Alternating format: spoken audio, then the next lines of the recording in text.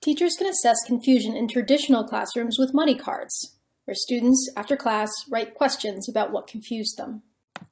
Mudslide translates the practice of muddy cards into the realm of online lecture videos. Students can highlight points of confusion in the lecture video and ask teachers a question about it. We found that this spatially anchored census of student confusion is helpful for both teachers and students.